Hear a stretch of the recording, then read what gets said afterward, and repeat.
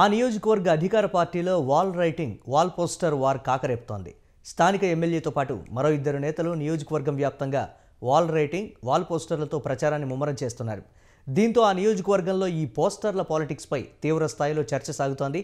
అధికార పార్టీలో వర్గపోరు కూడా తారాస్థాయికి చేరడం మరో ట్విస్ట్. ఒకరి వాల్ పోస్టర్లు మరొకరు చించేసే దుష్ట సంస్కృతి కూడా సాగుతోంది. ఇంతకీ ఆ వాల్ రైటింగ్ వార్ ఏ నియోజకవర్గంలో అనుకుంటున్నారా? అయితే ఈ స్టోరీ చూడాల్సిందే.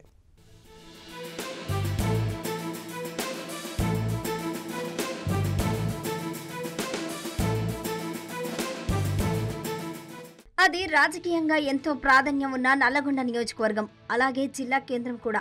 కోమటిరెడ్డి వెంకటరెడ్డి గతంలో నాలుగు సార్లు ఎమ్మెల్యేగా గెలిచి రాజకీయంగా ఎదిగారు. కానీ రెండు వేల పద్దెనిమిదిలో కోమటిరెడ్డి వెంకటరెడ్డిపై మొదటిసారిగా బీఆర్ఎస్ పార్టీ అభ్యర్థి కంచర్ల భూపాల్ రెడ్డిని ఎమ్మెల్యేగా గెలిపించారు నల్గొండ నియోజకవర్గ ప్రజలు.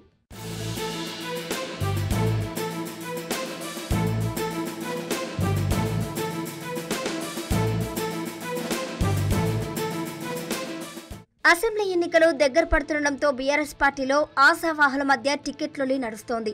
ఎలాగైనా పార్టీ టికెట్ సాధించాలని ఒక పక్క పార్టీ అధిష్టానం వద్ద తమ వంతు ప్రయత్నాలు సాగిస్తూనే ఎవరికి వారు నియోజకవర్గంలో వాల్ రైటింగ్ పాలిటిక్స్కు తెరలేపి జోరుగా ప్రచారాన్ని చేసుకుంటున్నారు. నల్గొండ పట్టణంతో పాటు గ్రామంలో కూడా ఏ గొడపై చూసినా ఏ నేతల వారు రైటింగ్సే కనబడుతుండటంతో నియోజకవర్గంలో జనం వాల్ రైటింగ్ వాల్ పోస్టర్పై చర్చించుకుంటున్నారు.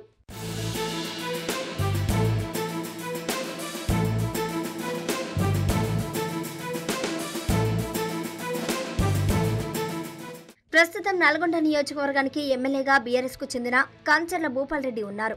రెండు వేల పద్దెనిమిది ఎన్నికలకు ముందు అనూహ్యంగా టీడీపీ నుంచి బీఆర్ఎస్ పార్టీలో చేరి ఎమ్మెల్యేగా జాక్పట్ కొట్టారు. అయితే అప్పటి వరకు టికెట్ ఆశించిన దుబ్బాక నరసింహారెడ్డి చెకిలం అనిల్ కుమార్ చాణ కిషన్ రెడ్డి నిరాశకు గురయ్యారు. అంతేకాక దుబ్బాక నరసింహారెడ్డి బీఆర్ఎస్ నుండి కాంగ్రెస్లో చేరిపోయారు. ప్రస్తుతం చెక్కిలం అనిల్ కుమార్ కూడా బీఆర్ఎస్ పార్టీకి రాజీనామా చేశారు. ఈసారి బీఆర్ఎస్ టికెట్ ఆశిస్తున్న వారిలో చాణ కిషన్ రెడ్డి శాసనమండలి చైర్మన్ గుత్తా సుఖేందర్ రెడ్డి తనయుడు అమిత్ రెడ్డి నల్గొండ పట్టణ మాజీ బీఆర్ఎస్ అధ్యక్షుడు కౌన్సిలర్ పిరి రామరాజు రేస్లో ఉన్నారు.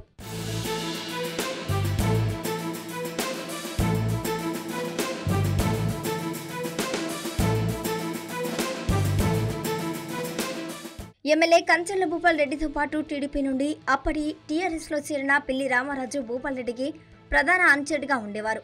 మున్సిపల్ చైర్మన్ పదవి విషయంలో ఇద్దరి మధ్య వైరం పెరగడంతో అది వర్గపోరుగా మారింది. దీంతో పిల్లి రామరాజు తానే ఎమ్మెల్యేగా పోటీ చేస్తానని ప్రచారం నిర్వహిస్తున్నారు. ఆర్కే ఎస్ ఫౌండేషన్ స్థాపించి సేవా కార్యక్రమాలతో ఆర్థిక సహాయాలు చేస్తూ ప్రజలకు చేరువయ్యారు. మరోపక్క వాల్ రైటింగ్ వాల్ పోస్టర్లతో ప్రచారాన్ని ముమ్మరం చేశారు. ఇక శాసన మండలి చైర్మన్ గుత్త సుఖేందర్ రెడ్డి తనయుడు గుత్తా అమిత్ రెడ్డి కూడా ఇదే నియోజకవర్గం నుండి టికెట్ ఆశిస్తూ ఆయన కూడా వాల్ పోస్టర్ల ద్వారా ప్రచారాన్ని సాగిస్తున్నారు. దీంతో పార్టీ శ్రేణుల్లో అయోమయం నెలకొంది.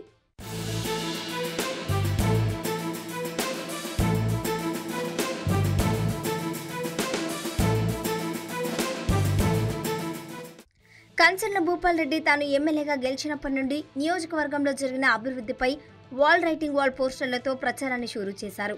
టీఆర్ఎస్ పార్టీ రాష్ట్ర కార్యదర్శి చాడ కిషన్ రెడ్డి తెలంగాణ ఉద్యమం నుండి పార్టీ స్థాపించినప్పటి నుండి పార్టీలో కొనసాగుతున్నానని చెప్పుకుంటూ ఆయన కూడా వాళ్ళ రైటింగ్ వాల్ పోస్టర్లతో ప్రచారాన్ని చేపట్టారు.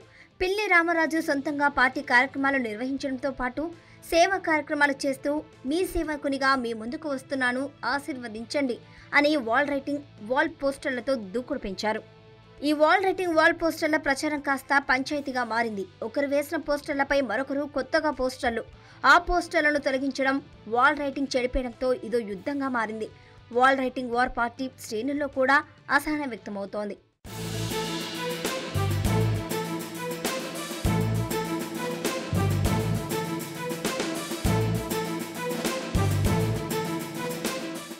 నల్గొండ నియోజకవర్గంలో అధికార పార్టీ నేతల మధ్య సాగుతున్న వాల్ రైటింగ్ వాల్ లొల్లి ఎప్పుడు సద్దుమణుగుతుందో గోడలు ఎప్పుడు క్లీన్గా దర్శనమిస్తాయో తెలియదు బీఆర్ఎస్ పార్టీ టికెట్ ఎవరికి కేటాయిస్తారో చూడాలి.